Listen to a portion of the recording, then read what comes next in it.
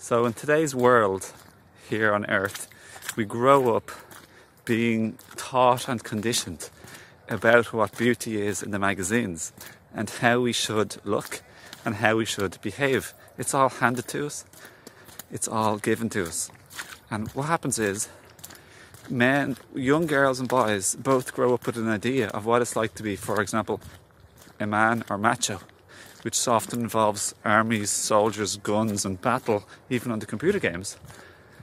And like macho and not showing your true feelings, which is suppressing and causes like all sorts of depression and sickness later on growing up in life and social disorders. And women are taught that they're supposed to be skinny and sometimes blonde, according to the Barbie dolls and all sorts of stuff. And that they should be this like picture perfect, like model type of funny, like weird Barbie looking doll. Okay? So, from a very young age, we often learn not to like ourselves and we think we're lacking in something or we're not good enough. We don't meet the standards. And then we look around, we compare ourselves with people, and we, we compare and we think, oh, they're like prettier, they're handsomer than us. And we get a bad self image and feeling about ourselves. And we also then, then there's the competition in schools and in the exams and in the sport. And we think, oh no, like they're better than us at that, and I'm not, we're not good enough, I'm not good enough. So we get this feeling that we're not good enough everyone. We get this like, it's sad for me to think this. But there's a way to overcome this, which I'll get in a minute. I'm just painting the, the picture first. So we grow up as a teenager and a young child, often thinking like we're lacking and not good enough.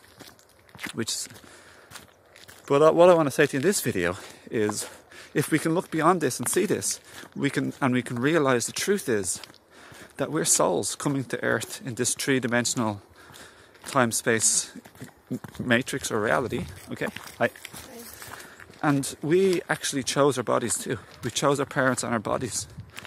And we chose what characteristics and physical attributes and talents and gifts and interests and hobbies and strengths and weaknesses we will have. We're not all meant to be the same, so there's no point in trying to be the same as anyone. It's okay to like um, see someone else's good qualities because those good qualities are actually within us too. Um, so we can actually take a positive leaf out of someone's book and learn to develop positive traits within us that we already possess too.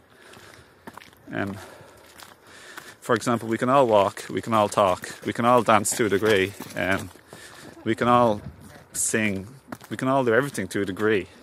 We're all kind, we all have various different attributes. So it's good to learn from each other, everybody.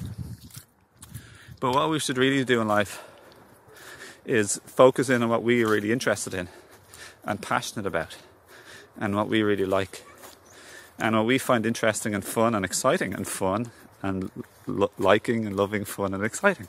So I'm saying these words again to build up the energy of what I really mean. So when we when we immerse ourselves not just what we're gifted at, but what we actually really like and are interested in instead. What brings us fun and enjoyment and passion and fun, happiness and joy. Often it is what we're actually gifted in too. And then we can share this with other people in the world and we can all enjoy ourselves doing what we like. So then we all share our strengths together. And that's okay because we're we're a human family. We are even a small family or community and we're meant to all have different abilities. So it's just it's not correct to try and copy out somebody else. For example, if you see someone else who's a good singer, and then you think, oh, it's really cool to be a singer, I'm going to try be an actor or a singer as well.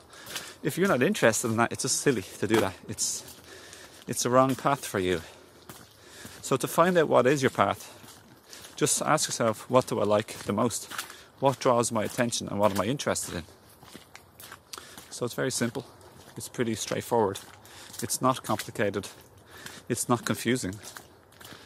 Um, so you just follow your hobbies and your interests and keep your passions, and it's simple as that. So, um, yeah, we're all different, so let's just focus on our strengths and we can improve our weaknesses. But we don't we don't need to waste time doing like mathematics maths courses if we're not interested in maths. There's no point in doing drumming if we prefer singing. Um, there's no point in doing woodwork if we like art. You know what I mean? So, and then eventually, when someone becomes a really good artist, they can contribute their art to the community or to the world and the carpenter can contribute the woodwork and the carpentry to the community, and then they share the strengths and the best. So that's all I really want to say, everyone. And what I, what I want to say is, I want you to like yourself, I want you to love yourself, and I want you to accept and approve of yourself, and know that you are lovable and loving, and you're worthy. You truly are 100%. You are a loving being. You are worthy. You're deserving you are lovable. You are enough. You are worthy. You deserve love. You deserve goodness and beauty in life. And you are these things to share with the world also. It is only the, the falsehood and the false beliefs and concepts about ourselves and the ideas that we don't possess goodness our, within us to give also like, we have so much to give, and sometimes we have the belief, I've nothing to give, I've nothing good to share. And that's not true. Even uh, listening is a, is a lovely act of sharing and giving. It's an act of receiving, you know. In, in receiving authentically, we actually give, you know. so if we lend a listening ear, that's so good for the person who's able to sh- share, you know. So yeah, that's all I really want to say. So I hope maybe you share this with your children or young people. Um, share it with your friends or family and social media. And give liking really helps the channel the channel so much. So thank you so much for liking if you've enjoyed this video. And just love and nurture yourself. And let's all build up one another and support and build each other up nurturing okay? It's not too difficult. It's pretty easy. Um, yeah. And we can be all happier together lovely view eh lovely nature this is the Bray to Greystones Cliff Walk in County Wicklow, Ireland. Gorgeous, eh? So everyone, if you're new to the videos, welcome and do subscribe.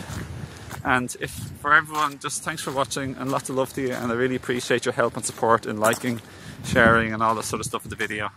And for, for any one-to-one work, um, check out the link below.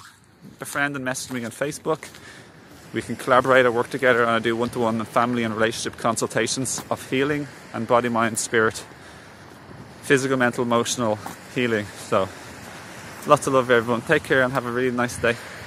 It's a blessing to be alive. Oh, I love nature. See it. so beautiful. Ah. ah.